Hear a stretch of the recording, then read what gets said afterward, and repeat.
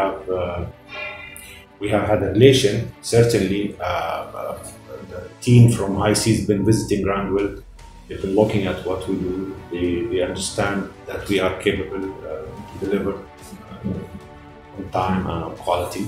But yes, they, they did have options, other options. And uh, I believe at the end uh, it was their decision to choose us. And uh, I think their decision, as usual, will be driven by the technical expertise, the reliability, capability of the yard, and of course the price. That's also another factor.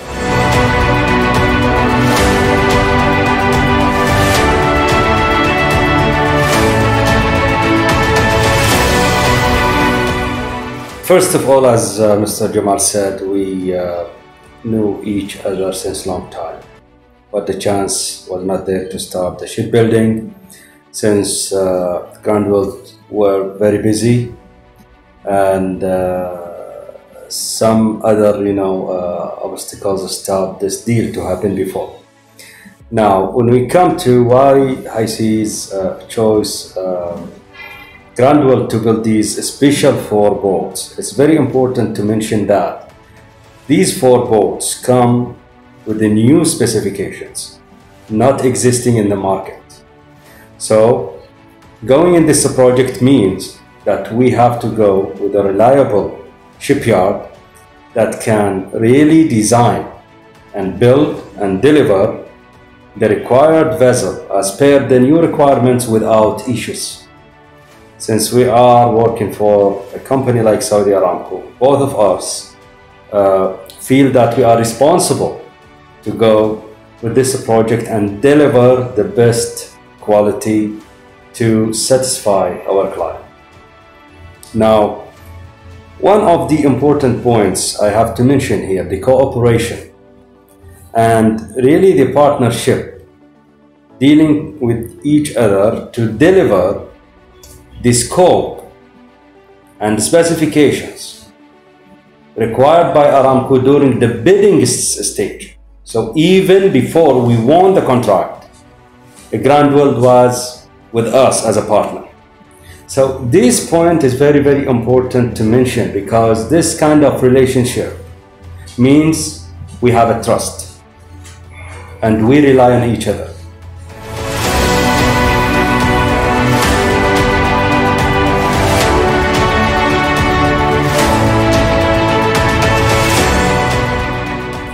Oh, you're absolutely right. I mean, it is it is important to support the client uh, prior to uh, you know prior to contract award uh, because there will be a lot of technical uh, uh, details required even to complete the tender, let alone uh, you know to provide drawings and, and, design details. And you know big companies like Saudi Aramco, ADNOC, KOC, all these big companies, you know, they, they, you expect that they will be demanding a lot of information uh, to be submitted, not just commercial, but deeply technical information. So it is standard that Grandweld will uh, support.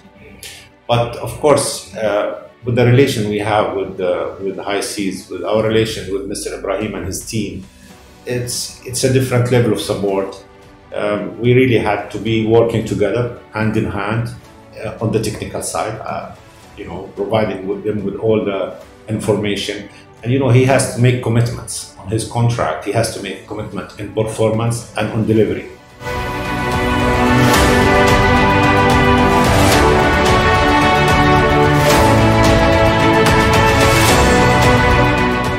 Basically, you know, usually when, when you hear crew boat, it means, uh, of course, speed. But um, uh, the, the, end user in this case, he didn't only need speed, but he needed a lot of uh, reserve stability, a lot of comfort uh, uh, for the for, for the people using. So the vessel has to provide extremely high stability under very rough condition.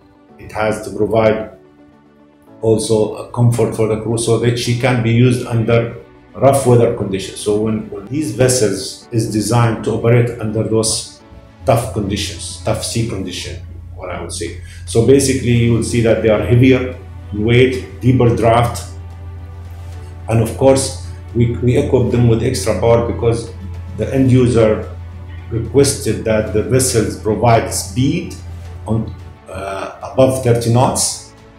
Plus, they wanted a lot of reserve power.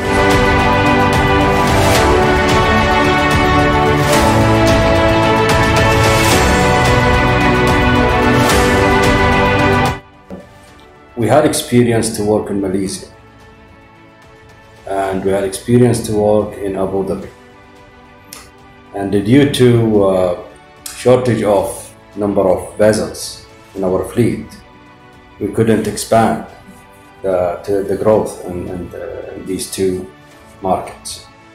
These are international markets. So high seas is open. Uh, yes, priority for our GCC market. Um, as international market, yes, we are open and hope the chance come again and we can expand our business uh, out of kingdom.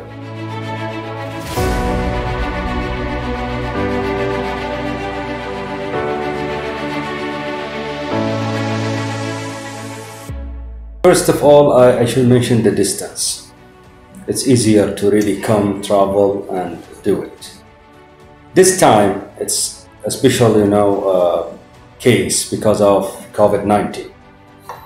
As of me, uh, a managing director of the company could not come. But luckily, we have our port captain, port engineer, and lately we had uh, our general manager to uh, present in the Grandweld in a full-time basis. So for months, they have been in, in touch with everybody here.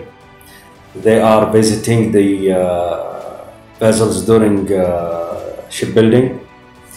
Uh, unless actually, you know, um, this distance between Saudi and uh, Dubai is as short as that, you can't really control uh, such case.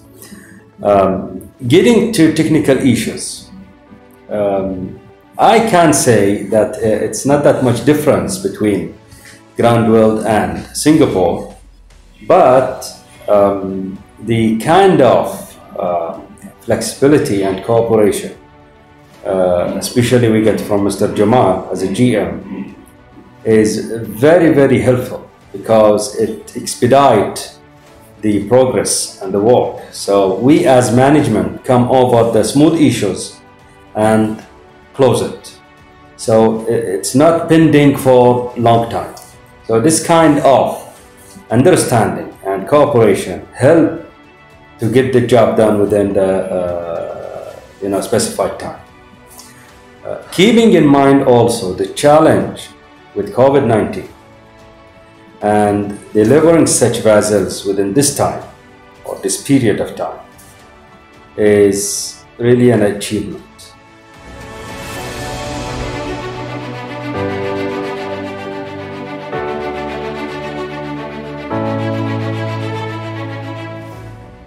Well, we, we have been, like I mentioned before, uh, it's been a, a, teamwork right from the beginning. Uh, starting from design stage, uh, both Mr. Ibrahim and, and the technical people, everybody was provided with uh, the chance to be part of the uh, project. They were very keen, very interested to learn and about the, the, design, about what we are doing, how we are getting there. At certain times, they had their own opinion because you know we are designing the vessel, we are building the vessel, but they will be operating the vessel. So the feedback and input is, is very important.